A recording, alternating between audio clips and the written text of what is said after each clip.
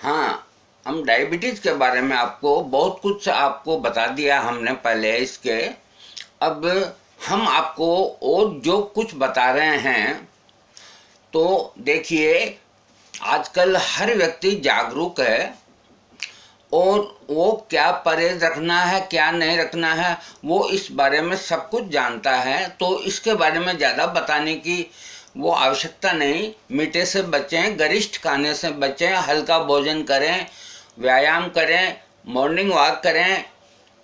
जितने आप एक्सरसाइज कर सकते हैं, करें। ये हम पहले भी समझा चुके, और भी हम दोबारा फिर रिपीट कर देते हैं।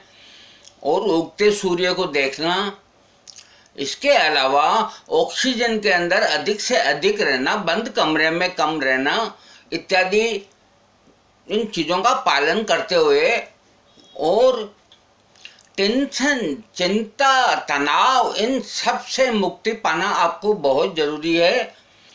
कोई भी तरह की दिमाग में टेंशन होते ही ब्लड प्रेशर और शुगर दोनों एक साथ बढ़ते हैं। जिनको दोनों एक साथ हैं तो देखिए, ये एक अच्छी बात नहीं है। दोनों कंट्रोल में रहनी चाहिए, ये बहुत ज़रूरी है, आवश्यक है। और जिनको सिर्फ़ डायबिटीज़ है तो उनके लिए भी परहेज बहुत ज़रूरी चीज़ है, क्योंकि बहुत शुगर बढ़ने के बाद भी प्रॉब्लम आती है और जिनको हाई ब्लड प्रेशर ज़्यादा और शुगर ज़्यादा है तो उनको किसी समय भगवान न करे, कोई ना कोई भारी तकलीफ़ हो सकती है। और इसका असर किडनी पे और मस्तिष्क के ऊपर पड़ता है।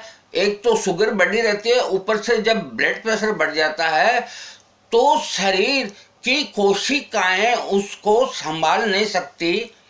ऐसी स्थिति के अंदर हार्ट अटैक ब्रेन हेमरेज देखिए, जो कहना है वो कहना है। कुछ भी हो सकता है, वो ऊपर वाले के हाथ की बात है।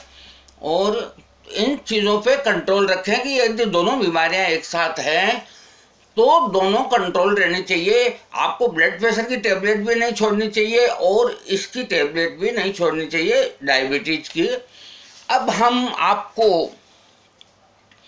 एक मुद्दे की बात यह है कि आपको सब तरह से समझाया है कि आप कुल मिलाकर के तीन चार बातों का पालन कर लीजिए, जिसमें आपकी बीमारी खत्म हो जाएगी। यह हम आपको बिल्कुल हमारे अनुभव के आधार पर कह रहे हैं। इसमें कोई दो राय नहीं है। आपको सबसे पहले नंबर वन, तनाव मुक्त होना, चिंता से बिल्कुल मुक्त होना, ये आपके लिए, डायबिटीज़ वाले पेशेंट के लिए और ब्लड प्रेशर वाले दोनों के लिए ये बहुत ज़रूरी है। कब्जी नहीं रहनी चाहिए, ये भी बहुत ज़रूरी है। इसके अलावा महत्वाकांक्षाएँ मनुष्य की महत्वाकांक्षा। इस बारे में डॉक्टर कभी न तो वो समझते हैं, न वो इसमें बताते हैं। प्रतिस्पर्धा जिसको बोलते हैं कि किसी को पड़ोसी की जो दुकान है, उसको अधिक कमाई होती है, आपके कम होती है। इस तरह की बात आप उसको इजी वे में यूँ लें तो ये दिमाग के अंदर ये चीज़ सेट नहीं होनी चाहिए कि अपने कारोबार कमज़ोर चलता है, पास वाले का ज़्यादा चलता है। ऐसा कभी ना सोचें। देखो, भगवान सबको दाल रोटी सबको देता है। इसकी चिंता न करें, आप अपने प्रयत्न में, अपनी मेहनत में, अपने कार्य में कोई कमी नहीं रख रहे हैं। सब कुछ आप कर रहे हैं, उसके बावजूद जो फल उसको जितना देना है, वो आपको दे रहा है। वो किसी को भूखे नहीं सुलाता। ये मैं इसलिए कह रहा हूँ कि इस तरह की प्रवृत्ति बहुत से मनुष्य के दिमाग में बैठ जाती है कि मेरा काम कमज़ोर है, पड़ोसी का ज़्यादा है। ये एक तरह का विष है, विष जहर, जो शरीर के अंदर जाकर के मस्तिष्क से और नाना प्रकार के रोगों को उत्पन्न करता है, जिसमें हाई ब्लड प्रेशर हार्ट की बीमारी डायबिटीज़ किडनी खराब होना, कई तरह के ये रोग पैदा होते हैं, ऐसा सोचने मात्र से। और यदि आपने ऐसा सोच लिया कि भगवान हमको दाल रोटी दे रहा है, पास वाला खूब कमा रहा है तो उसे कमाने तो उससे क्या फ़र्क पड़ता है? आपने कौन सी कमी है? तो आपको कोई ये बीमारी नज़दीक नहीं आएगी। अपने थिंकिंग को जहाँ विधि के राम ताही विधि रहिए जिस हाल में वो रखता है, उस हाल में रहिए। आप अपना कर्म कीजिए, पुरुषार्थ कीजिए। मैं यह नहीं कहता कि आप सोते रहिए। आपको खूब काम करना है, मेहनत करनी है। जो देगा, वो देगा। कभी वो कमी नहीं रखता देने के अंदर। आपको लेने के अंदर शर्म आती है। वो खूब देता है। संतोष होना चाहिए। मन में शांति होनी चाहिए। कोई बीमारी नज़दीक नहीं आएगी। सैकड़ों बीमारियाँ इस तरह की थिंकिंग से पैदा होती है। ये मनोचिकित्सक आपको कह सकता है, इस बात को आपका फिजिशियन नहीं कहेगा। हाँ तो जो खास मुद्दे की बात पे आते हैं, ज़्यादा समय आपका बर्बाद नहीं करेंगे हम। आप सबसे अच्छा है कि डायबिटीज़ में देखिए, हमने आयुर्वेदिक दवाइयों का बहुत इस्तेमाल किया है, भस्मादि वगैरह, नाना प्रकार के बसंत कुसुमा का रस वगैरह जो 400 500 600 रुपया का एक ग्राम। इस तरह की रस औषधियाँ इतनी महँगी कि आदमी की एक डोज बनती है तीस, चालीस रुपए की। क्या खाएगा, क्या निचोड़ेगा? कोई उनमें प्योरिटी नहीं, वो कोई दवाइयाँ डायबिटीज़ में काम नहीं करती है। हाँ सबसे पहले लिखिए आप, हम आपको जड़ी बूटियाँ और होम्योपैथिक की दवाई बताएँगे। सबसे पहले, जिनको जो डायबिटीज़ हमने आपको बताया था, बिना शुगर की डायबिटीज़ यानी कि बार बार पेशाब जाने की जिनकी प्रवृत्ति है, वो वृद्ध हो या युवा हो, और जाँच में अगर शुगर नहीं आती है तो दवा लिखिए आप, homeopathic acid phos thirty potency acid phos thirty potency दिन में तीन बार। ये करीब एक महीना आप आराम से लें, ये टॉनिक भी होगा और आपकी बार बार पेशाब करने की प्रवृत्ति को रोकेगा।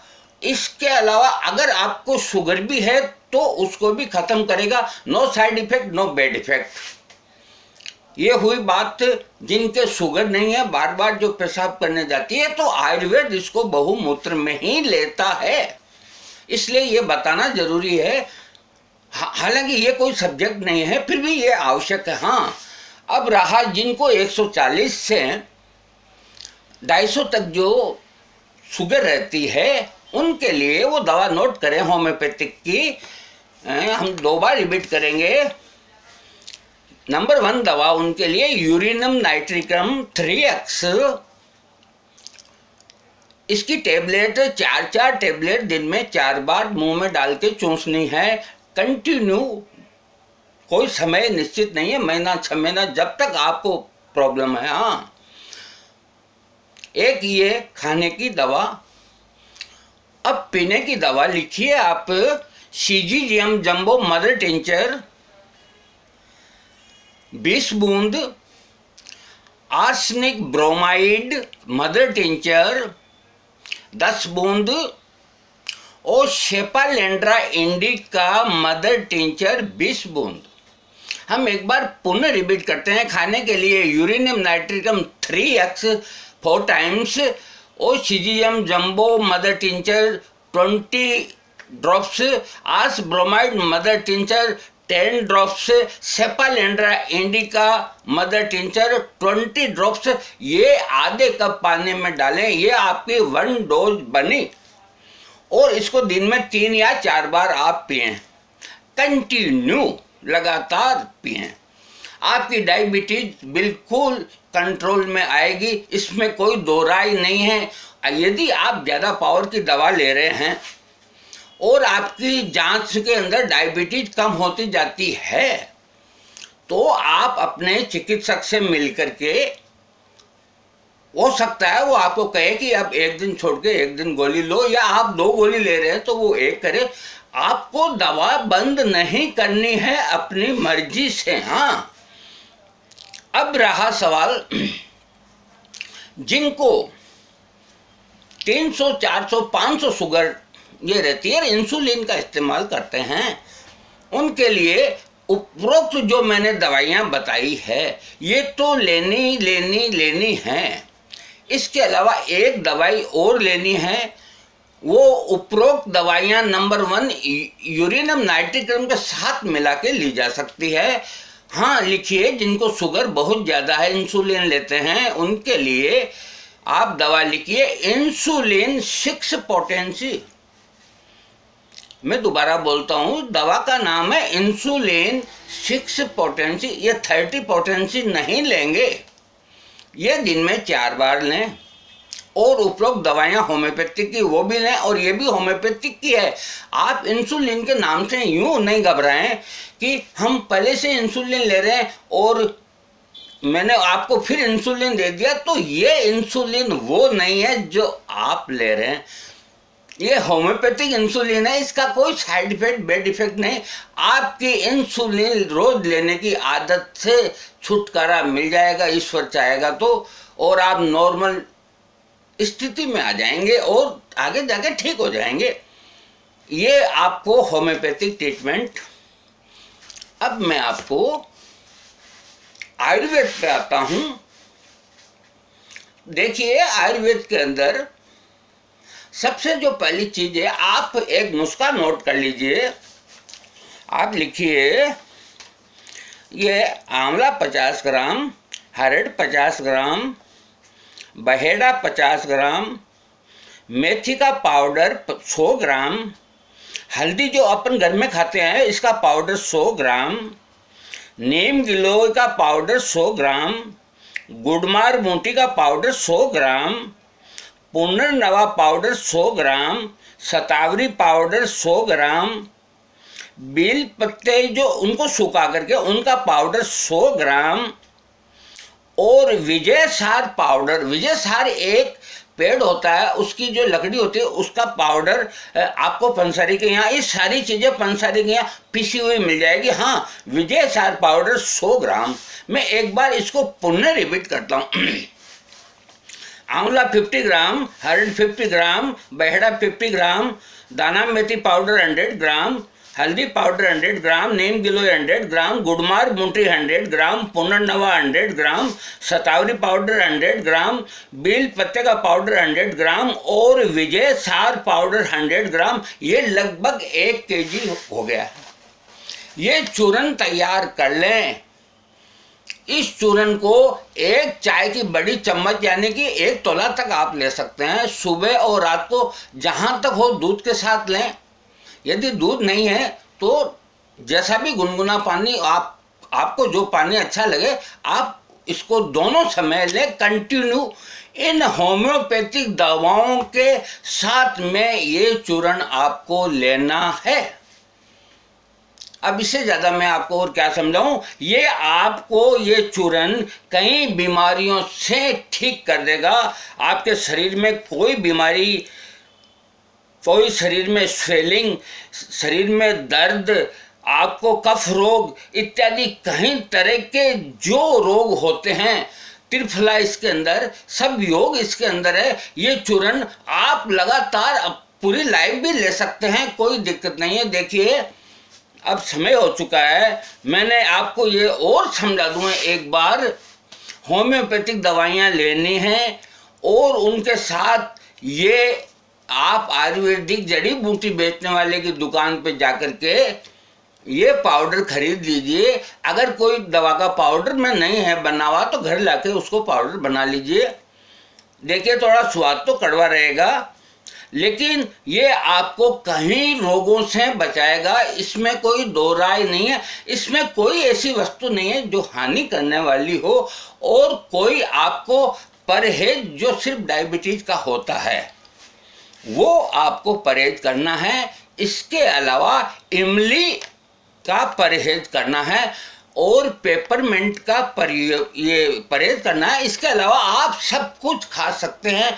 सब्ज़ी के अंदर हल्दी, ये हींग डाल के तो आप कभी ले सकते हैं, कोई दिक्कत नहीं है। अब मैं आपसे इजाज़त चाहूँगा। आपको यदि और कोई चीज़ समझ में आए या ना आए, आप मुझसे फ़ोन करें।